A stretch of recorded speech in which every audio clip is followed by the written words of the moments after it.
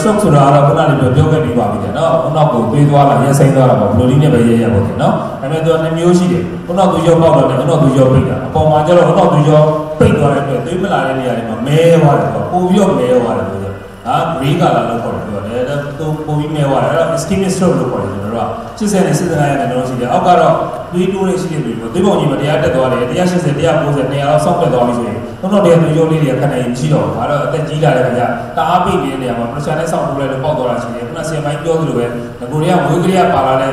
သွေးကြောဖောင်းနေတဲ့လူတွေလည်းရှိတယ်ပြောကြတယ်ခါလီကဆီယမားရဲ့ကောင်လေးဆိုပြီးကျင်းလုံးနဲ့လှမ်းရဲနေတာခေါင်းထိသွားပြီးတော့ခေါင်းထဲက very injury လို့ခေါ်တယ်ကိုညနေ injury လေးပေါက်သွားပြီးတော့တည်သွားတဲ့ကလေးတွေရှိတယ်ဒါကြောင့်ဆီယမားတွေခေါင်းမရိုက်ပါနဲ့မရိုက်ပါနဲ့ကျွန်တော်ပြောကြတယ်နော်အောက်ကတော့ hemorrhages လို့ခေါ်တယ်ကျွန်တော်တို့ဆိုင်တာတော့အောက်ပိုင်းပါတယ်နော်ဒီဥစ္စာလေးဒါနဲ့ ischemic stroke ကကျတော့သူကတမားတော်တွေနေဆိုင်တယ်ဦးလုံးလည်းအောင်ပြောတမားတော်နေဆိုင်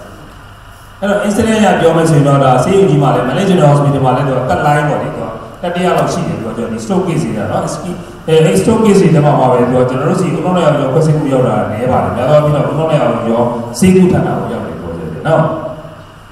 အဲ့တော့ neurosurgeon တွေနဲ့ခုနပြောတဲ့ဘာတွေလုပ်လို့ရလဲဒီ stroke prevention မှာ hemorrhagic stroke ပေါ့ဦးလုံးအောင်ပြောအဲဦးလုံးပြောပေါက်လို့ဦးလုံးတော့သွေးကိန်းဖြစ်နေတယ် CT ရဲ့လို့ဖြူနေတယ်ဆိုတာကြီးကဒါသွေးကိန်းပေါ့ အဲ့သွေးကိန်းဖြစ်လာပြီဆိုတာ neurosurgeon နဲ့ဆိုင်သွားပြီနောက်တစ်ခါတော့ဒီဘေးမှာဦးလုံးကိုသွားတဲ့သွေးကြောကြီးတွေရှိတယ်နှစ်ခုရှိတယ်တော်တော်တက်အားဖြင့်လို့ခေါ်တယ် internal carotid external carotid ဆိုပြီးတော့အဲ့ဘွားဆုံးမှာလာပြီးတော့မှသူက cholesterol တွေတင်များတယ်သွေးကြောတွေမှာစီများတဲ့လူတွေမှာလာပြီးတော့မှအဲ့မှာသွားပြီးတော့ cholesterol plaque လို့ခေါ်တယ်အနေနဲ့ထိုင်ပြီးတော့ပိတ်နေတယ်အဲ့ဒါကျွန်တော်တို့ကလေမြန်းနေသွေးကြောနဲ့ဖွဲ့စိတ်တယ်ကျွန်တော်ဖွဲ့စိတ်တွေမှာတော့ပါလာမှာပါခုနဆရာမကြီးပြောတဲ့ aneurysm လေးတွေက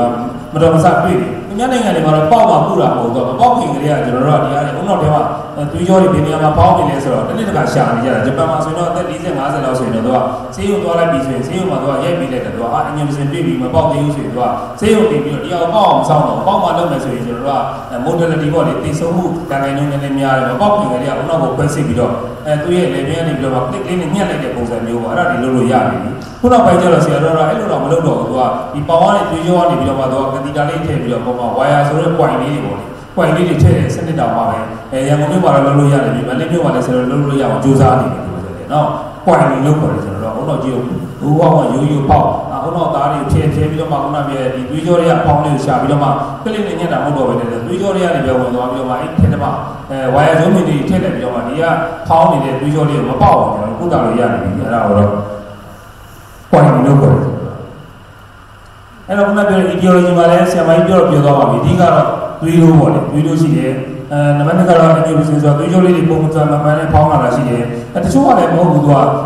သွေးထဲမှာလည်းတော့ဟုတ်တော့သွေးလွတ်ကြောနဲ့သွေးပြန်ကြောတွေကသူကသူတလိုင်းစီတက်တက်သွားတာအဲ့ဒါမသွားဘဲနဲ့တချို့ကကျသွေးလွတ်ကြောနဲ့သွေးပြန်ကြောနဲ့ပေါင်းပြီးတော့မှအထုံးကြီးဖြစ်သွားတယ်တဲ့နော်တချို့ကလည်းသွေးနဲ့ပတ်သက်တဲ့ယောဂတွေရှိတယ်လိုလိုနေနဲ့ထိခိုက်နေတယ်သွေးထွက်နေတဲ့ယောဂတွေရှိတယ်အဲဟုတ်တော့အကျိတ်ကြောင့်ဖြစ်တာများတယ်သူကကျနော်အဲတခြားယောဂတွေလည်းရှိတယ်ဆေးတွေတောက်လို့လည်းဟုတ်တော့ဒီမှာသွေးကြောပေါက်တာလည်းရှိတယ်ဆို ဒါကတော့ဒီဖြစ်ခြင်းရဲ့အကြောင်းတရားတွေဒါဆရာမကြီးပြောသလိုပဲဒါတွေကတော့ကျွန်တော်တို့ကရှောင်မဲပြီးတော့ပြုပြင်လို့မရတဲ့တမှာပါတယ်။ဒါကြောင့်မို့ကျွန်တော်တို့ပြုပြင်လို့မရတဲ့ဟာတွေရှိရဲ့ဒါနဲ့ပြုပြင်လို့ရတဲ့ဟာတွေကိုကျွန်တော်တို့ပြုပြင်မယ်ပြုပြင်လို့မရတဲ့ဟာတော့ကုသကံကိုတတ်နိုင်တယ်ဒါပြင်မဲ့ကုသကံပါလာရင်တော့ဖြစ်ပါမယ်ဖြစ်ရင်တော့လည်းဆရာတော်ကုသလို့ရပါသေးတယ်။ အပြုပြင်လို့လည်းမရတော့ဘူးဆရာကြီးကျွန်တော်တို့ဘယ်လိုလဲဒီဖက်တာကိုလည်းစင်းခံရမှာမဟုတ်ပါဘူး။ပြုပြင်လို့မရတဲ့အကြောင်းတရားတွေဖြစ်တယ်ကျွန်တော်တို့နီလန်းပေါင်းစုံနဲ့ကုသလို့ရပါသေးတယ်။ကောင်းတဲ့ထိပြန်ကုသလို့တလို့ရတယ်မတရားကုသလို့ရတယ်ပြောကြတယ်နော်။အဲဒါကြောင့်မို့ကျွန်တော်တို့ကတော့ပြုပြင်လို့ရတဲ့ဟာလေးတွေလည်းပြုပြင်ပါပြုပြင်လို့မရတဲ့ဟာတွေကြောင့်ဖြစ်လာတယ်လည်းဒါကျွန်တော်တို့ကနေပြီးတော့လုပ်ပြီးမယ်တော့ပြုပြင်လို့မရတဲ့ဟာတွေလည်းတော့ဖြစ်နေတဲ့လေးဖြတ်ယောဂါကိုပြုပြင်လို့ရတဲ့အကြောင်းတရားတွေဘာလို့မပြုပြင်မနေကြမှာလဲအဲ့တော့ပြုပြင်လို့ရတဲ့အကြောင်းတရားတွေပြုပြင်အောင်ဆိုပြီးတော့ခုနဆရာမကြီးကတော့ပြောခဲ့ပြီနှလုံးယောဂါ၊သွေးကြိုးယောဂါ၊စီးကျိုးယောဂါဒီဥစ္စာတွေကိုတော့ကျွန်တော်တို့ကလမ်းမှန်မှန်ရှောက်မယ်တဲ့နော်အစားတောက်ဆင်ခြင်မယ်အဲ့ဒါလေးနဲ့ကျွန်တော်တို့ပြုပြင်လိုက်မယ်ဆိုရင်စလိမတော့ဘူးရဲမတော့ဘူးဒီလိုပြုပြင်လိုက်မယ်ဆိုရင်တော့ဒီဖက်တဲ့ဝေဒနာတွေကနေတော့ကင်းဝေးသွားနိုင်တယ်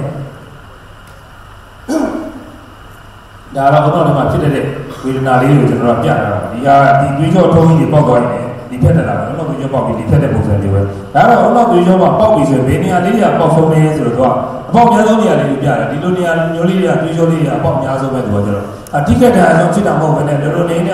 အနောက်သွေးကြောပေါက်ပြီးဖက်တယ်ဆိုရင်အဲ့ဒီနေရာတွေမှာပေါက်တာများတယ်အဲသွေးလည်းတိုးလို့ပဲနေရာလေးတွေကဟိုအင်ဂျင်စင်လေးလည်းရှိနေဆိုတော့ဒီဖြတ်ဖို့အခွင့်အရေးပုံများတယ်ဒါလေးတော့နေရာပေါ်မှာပုံတီးပြောထားတာပါဘယ်နေရာမှာဖြစ်များဆုံးပဲပေါ့လေနော်အဲဖြစ်များဆုံးနေရာတော့ဒီနေရာမှာဖြစ်များဆုံးပဲဒီလိုနေရာမျိုးမှာဖြစ်တယ်ဒီလိုနေရာကတော့အုံနောက်ညာလို့ပေါ့လေအုံ နောက်တော့ညာမှာဖြစ်တော့တိတ်မချအောင်တော့ချက်ချင်းသတိလစ်တယ်ပါညာပေါ့နော်နည်းနည်းလေးကသိဆုံးမှုရခိုင်တော့ပုံများတယ်နော်အုံနောက်ငယ်မှာဖြစ်တာလည်းနည်းနည်းပုံအနေများတယ်အဲဒီအုံနောက်ညာနဲ့အုံနောက်ငယ်ဖိလိုက်ကျွန်တော်တော့အုံနောက်ကြီးမှာဖြစ်တဲ့ဟာတွေကတော့ဥဒလို့ရပါတယ်ဆိုတော့နော်ဒါကြီးတိတ်ဆိုးရေပေါ့လေနော် CFM caring for well being